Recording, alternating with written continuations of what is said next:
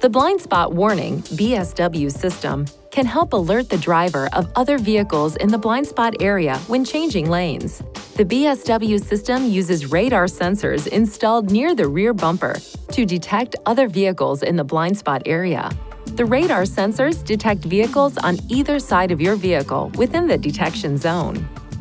The detection zone typically starts from the outside mirror of your vehicle and extends approximately 10 feet behind the rear bumper and approximately 10 feet to the side. When the system detects vehicles in the detection zone and the vehicle is traveling at speeds greater than approximately 20 miles per hour, the side BSW RCTA indicator light illuminates. If the driver then activates the turn signal, the system chimes twice and the blind spot warning indicator light will flash. To enable or disable the system, press the right or left arrow button until Settings displays. Press the up or down arrow button to select Driver Assistance. Press the OK button. Select Driving Aids. Press the OK button. Select Blind Spot. Press the OK button. Use the OK button to toggle the system on or off.